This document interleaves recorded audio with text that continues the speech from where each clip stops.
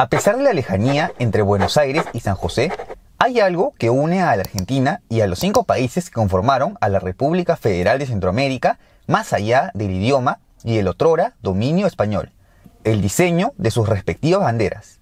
¿Te interesa conocer cómo se pudo haber dado esta relación a pesar de la poca historia que podrían compartir estos países? Dale, entonces quédate hasta el final del video.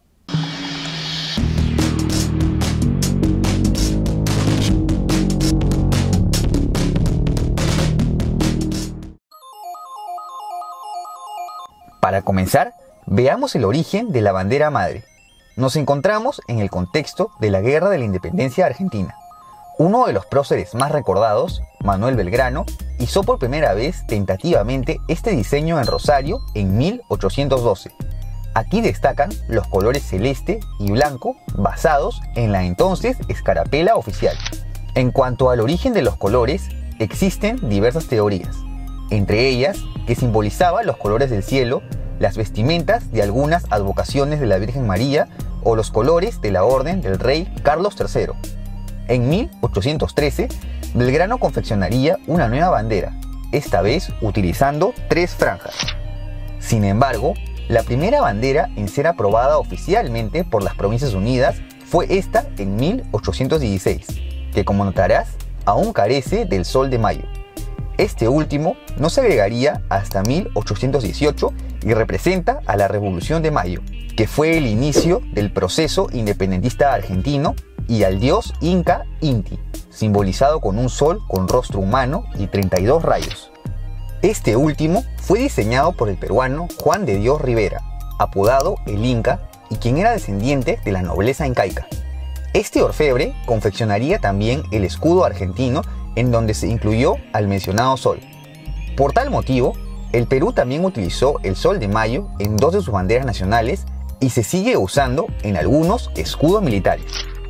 Otra particularidad de la nueva bandera es el cambio de tonalidad hacia un azul más oscuro, en vista que para la época, en las Provincias Unidas era complicado encontrar paños celestes cuya idea original era una tonalidad más similar al turquesa.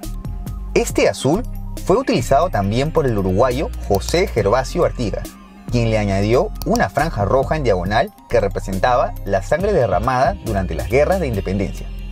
Esta bandera representó a la Liga Federal, confederación liderada por Artigas entre 1815 y 1820. Por el ideal federalista del prócer, esta bandera fue posteriormente utilizada por el Partido Federal de Argentina. Debido a la estrecha relación histórica entre Argentina y Uruguay, el país oriental también ha utilizado el sol de mayo y los colores de las banderas rioplatenses en sus diversos diseños.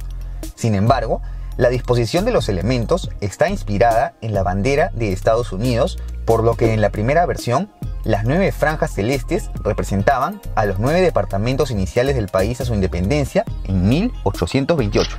En fin, regresando a Argentina, durante la Confederación, es decir, la época de Juan Manuel Rosas, se optó por cambiar el color del sol de mayo, además de agregar cuatro gorros frigios de color rojo, con el que se identificaba el Partido Federal al que pertenecía Rosas. Tras su caída en 1852, se volvieron a utilizar las banderas albiceleste y azul, existiendo una controversia sobre la necesidad de fijar los colores. No fue hasta 1907 que el presidente José Figueroa Alcorta estableció el celeste y blanco bajo decreto supremo, colores que se usan hasta la actualidad. Ahora, ¿en qué momento se podría decir que la bandera argentina se convirtió en una bandera madre? Aquí es donde entra en escena el corsario francés Hipólito Burchard, quien prestó su lealtad a la causa independentista argentina. En 1818, partió al mando de la fragata La Argentina para un corso enrumbando hacia las costas de California. Burchard realizaría exitosas incursiones contra las posiciones realistas en Sonsonate, El Salvador y El Realejo, Nicaragua, mientras enarbolaba el ya oficializado pabellón argentino. Como muestra de agradecimiento, el líder independentista salvadoreño Manuel José de Arce adoptó los colores para el diseño de la bandera de las Provincias Unidas del Centro de América. Esta se independizó de México en 1823 y Arce presentaría el diseño recordando las hazañas de los independentistas San Martín y Belgrano. En este periodo se presentaron dos versiones, que fueron reemplazadas por una tercera en 1824 tras la sucesión de la República Federal de Centroamérica. Esta última se desintegraría en 1839, dando origen a los cinco países que adoptaron un diseño derivado del original y que veremos a continuación. Honduras se separó oficialmente de Centroamérica en 1838 y desde entonces utilizó diversos diseños. Lo que ha caracterizado sus banderas es el uso de las cinco estrellas que representan a los cinco países que formaron a la antigua Centroamérica, aludiendo a un ideal unionista. Asimismo, según interpretación de los hondureños, el azul turquesa representa el cielo, mientras que el blanco la pureza, la integridad y la paz. Si bien la primera bandera independiente de El Salvador sí estuvo inspirada en el diseño argentino, esta se modificó en 1865 por este modelo, el cual se basó en el pabellón estadounidense por los colores y las estrellas que representaban a los departamentos del país. Asimismo, este fue variando constantemente y en algunos modelos incluyeron el escudo nacional. No sería hasta 1912 que se adoptaría el diseño actual, en el que se regresó a un derivado de la bandera centroamericana. El escudo está conformado por un triángulo equilátero que representa los tres poderes del Estado y que contiene un arco iris como símbolo de paz, el gorro frigio que representa la libertad y cinco volcanes inspirados en un paisaje visible desde la ciudad de Sonsonate. Esto también simboliza a las cinco naciones de la distinta República de Centroamérica, que a su vez son representadas por los cinco pabellones en lanzas indígenas.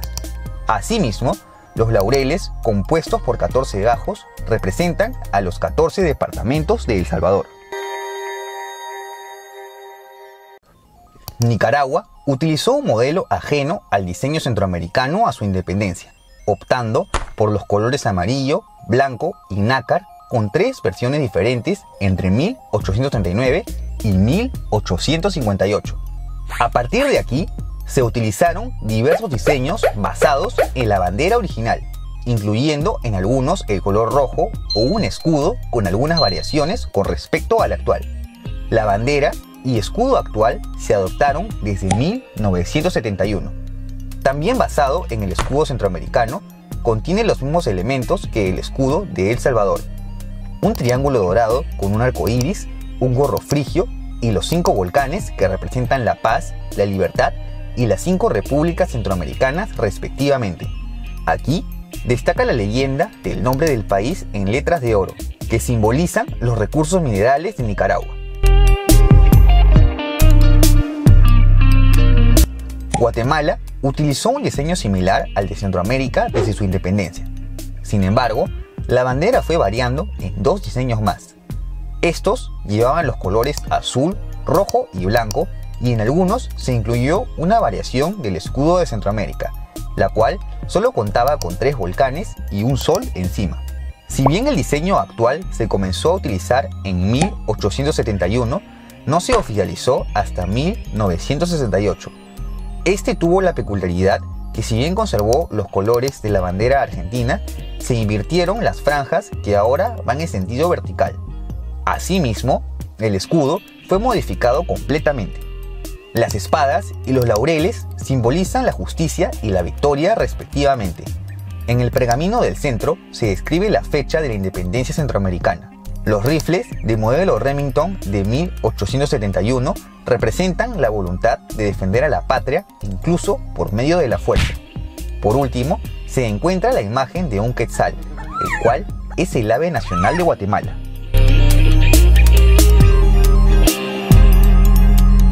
Costa Rica es la única ex república federal centroamericana que no usa exactamente el diseño original, sino que es una variación a la que se le agregó el rojo, que como en muchas banderas, representa la sangre derramada por la libertad.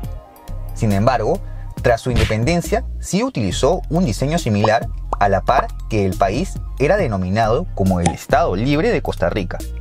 Estos tres diseños fueron efímeros, pues el rojo comenzó a ser usado en 1848. Desde entonces, se han utilizado diversos diseños con su versión propia del escudo de Centroamérica. El último diseño fue adoptado en 1998 y la interpretación que le dan los costarricenses es la siguiente. El marco dorado, adornado con laureles y el nombre del país, alude al café, bebida representativa de Costa Rica. Los tres volcanes simbolizan a las tres cordilleras que cruzan el país entre dos océanos que aluden a la salida tanto al Pacífico como al Atlántico. Los buques mercantes que llevan el pabellón nacional simbolizan la historia marítima del país y están iluminados por un sol de oro y siete estrellas de plata que representan a las siete provincias actuales del país. En fin, esta es la historia detrás de la bandera madre argentina. ¿Cuál de los diseños te gusta más? No te olvides de dejar tu comentario y si te ha gustado este video, apóyame con un like y suscríbete a mi canal. También puedes seguirme en mis redes y si te interesa apoyar este proyecto, cualquier donación en Patreon, en donde podremos hablar de historia, será bienvenida. Hasta la próxima.